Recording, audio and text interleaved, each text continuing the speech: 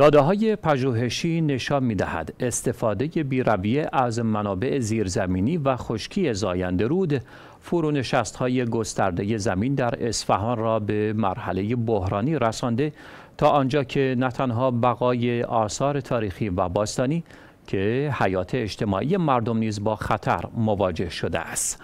همکارم در گزارش خود به واکاوی این موضوع پرداخته که با هم می‌بینیم. پژوهشگر بنیاد نخبگان اصفهان می‌گوید اصفهان شهری که خواستگاه تمدن‌های بزرگ بود حالا دارد خالی از سکنه می شود.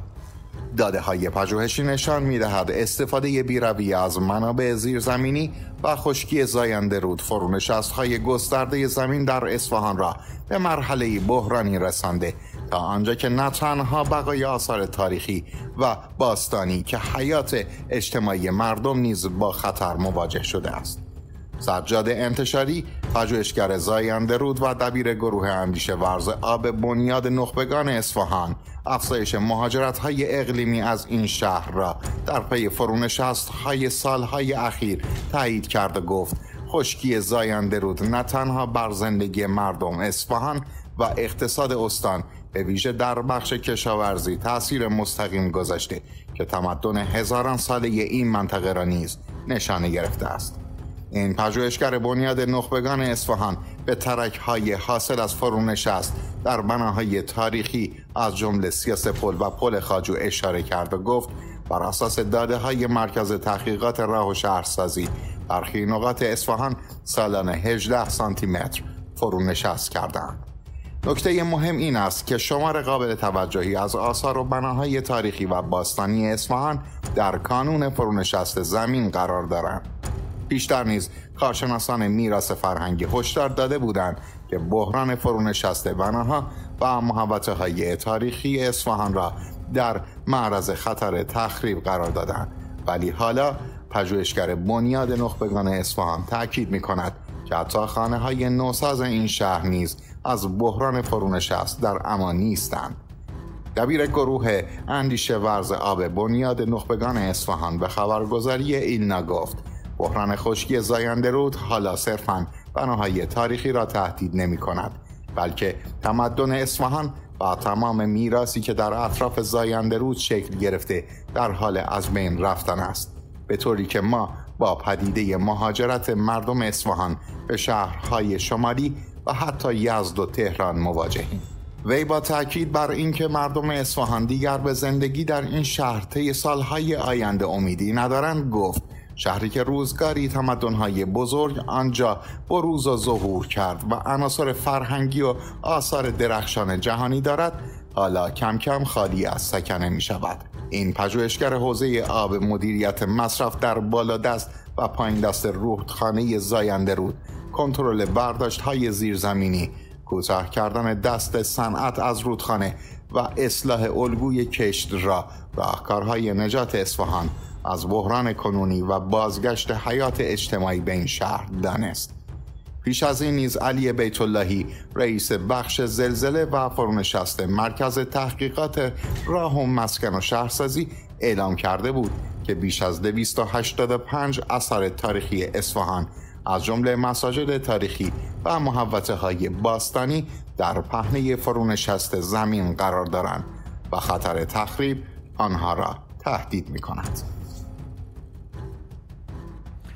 از مهندس بابک مرادیفر کارشناس محیط زیست و شبکه آبیاری و فعال حقوقی سیاسی از تهران پیرامون این گزارش دعوت به عمل آوردیم. آقای مهندس سلام و عرض ادب دارم خدمتتون.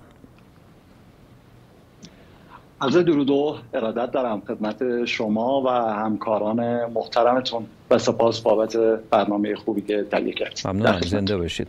آقای مهندس همه روزه از پدیده فرونشست در نقاط مختلف ایران اخباری به گوش می رسد حال هم از اصفهان خبر رسیده که دیگر نه بناهای قدیمی و نه جدید قابل اعتماد نیستند و برخی از شهروندان اصفهانی راه مهاجرت را برگزیدند. چه راهکارهایی برای مقابله با این پدیده وجود داره؟ بفرمایید. سپاسگزارم از همکارتون بابت برنامه خوبی که در واقع قبلش پخش شد و جمعوری کرده بودن اطلاعات رو. سال هاست که در واقع کنشگران محیط زیستی و مهندسین حوزه آب دارن هشدار میدن به اتفاقی که امروز می‌بینیم در واقع دیگه به صورت گسترده داره در سراسر ایران اتفاق میافته. سال هاست که بحث فرونشست زمین مطرح هستش. سال هاست که نگرانی تمامی در واقع فعالین این حوزه شنیده نشد و صداشون شنیده نشد. سالهایی که بیرویه چاهایی زده شد در این کشور. سالهایی که می‌بینین هر کسی با یک رابطه ای با یک ضابطه ای میاد یک چاه عمیق می‌زنه بدون هیچ کنترلی در دبی خروجی اون و در این فضایی که می‌بینیم آب نیست و آبخانهای ما در واقع دچار بی آبی شدن و سدهای ای که زده شده و اونور در واقع پشت این سدها ما با یک تبخیر زیاد آب مواجهیم. جایی که از حساب پسندازمون یعنی همون آبای زیرزمینیمون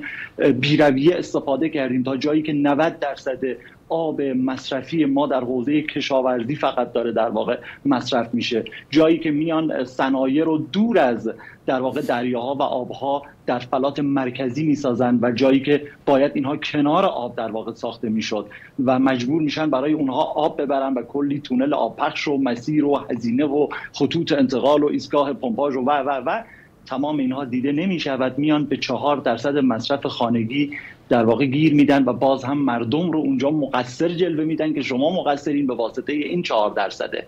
واقعیت این هستش که سالهاست سالهاست که داره صحبت میشه راجع به راهکارهایی که جلوی این رو در واقع بگیرن جلوی این فرونشست رو بگیرن یک مقطعی شروع شد چاهک هایی رو در واقع زدن به عنوان یک کاری که می‌تونه به صورت کوتاه مدت جواب بده یعنی بیان در یک چاهایی رو در فلات مرکزی در جاهایی که ریزش باران هست بله. در مناطق کوهستانی به عمقهای مختلفی بزنن که این بتونه در واقع اون پسنداز ما رو اون در واقع لایه های زیرین ما رو قرقاب کنه و اونجا ما شارژ بکنیم آبهای زیر زمین بله. یک مقطعی انجام شد کنم دو سه ماه و بعد هم تعطیل شد و عملا وضعیتی است که امروز دارید ممنونم.